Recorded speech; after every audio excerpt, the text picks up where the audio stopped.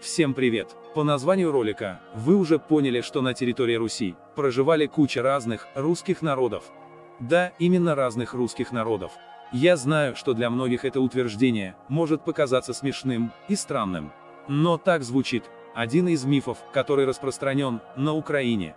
Теперь по порядку. Дело в том, что украинцы до 19 столетия сами себя именовали русскими. И сей факт невозможно скрыть. И чтобы выделиться, был создан такой миф, что русские, которые записывались через мягкий знак, это мол совсем другие русские, совсем не те, что живут, например, в Смоленске, Москве или в Пскове. И вот пример. Богдан Хмельницкий называет народ современной Украины русским народом через мягкий знак, мол он имел в виду других русских, совсем других, то есть другой русский народ. И этот миф легко разрушить, с помощью их же киевских источников. Я не буду приводить много примеров, так как это видео, по сути продолжение, предыдущего.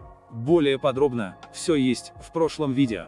Вот пример из книги киевского митрополита, который жил по сути, в то же время, вместе с Богданом Хмельницким.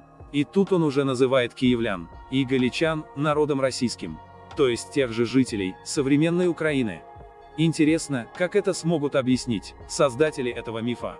А вот еще пример из летописей о территории Волыни, где можно увидеть православный русский народ с одной буквой «С» и без мягкого знака, или русинский народ, записанный через букву «О».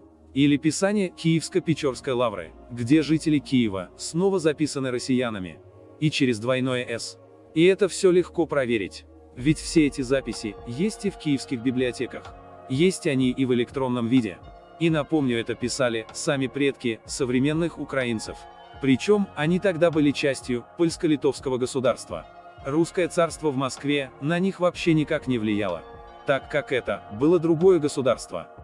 А вот пример из киевской Ипатьевской летописи, где киевляне записывали себя через одну букву «С», но без мягкого знака. А вот пример, где уже жители Великого Новгорода называются русинами. А вот тот же пример со Смоленском. А вот еще пример из новгородской летописи, где жители Мурома, Рязани, Смоленска и Новгорода назывались русскими, и также с одной буквой «С», и через мягкий знак, а ведь эти города находятся в современной России. А в псковской летописи русские записаны через звук ОУК. И что же получается? Неужели все это были разные русские и разные народы?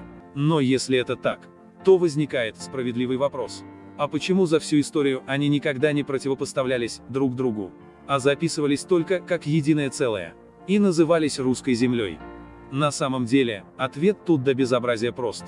До 19 столетия на Руси просто не было единого стандарта написания слов. Просто не было понятия правильной орфографии.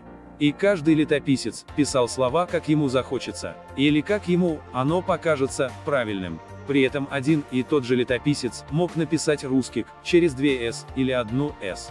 Поэтому русские были записаны по-разному.